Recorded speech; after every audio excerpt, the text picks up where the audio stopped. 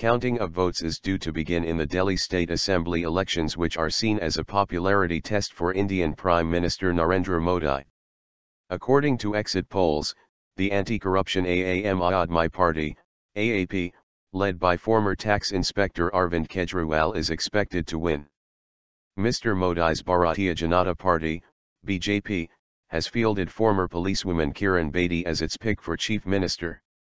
On Saturday, 67% of the over 13 million eligible voters cast their ballots. A BBC correspondent in Delhi says if the final results are similar to the exit poll predictions, it could be a first setback for Mr. Modi. He has enjoyed huge popularity since taking office last year, winning a string of local elections and wooing international investors and world leaders. The BJP's campaign was essentially anti-AAP and the party leaders often criticized Mr. Kejriwal at their rallies and roadshows. Mr. Kejriwal conducted an energetic campaign which was especially popular with working class and underprivileged voters making up 60% of Delhi's population, our correspondent adds. Hours before counting, senior BJP leaders sounded optimistic, predicting favorable official results on Tuesday. The results will defy the exit poll predictions as BJP will emerge victorious and will definitely form the next government, senior BJP leader Ramesh Bidhuri said.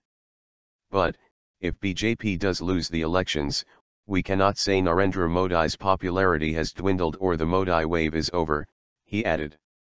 The Congress Party, which ran the Indian capital for 15 years until 2013, is predicted to come a distant third.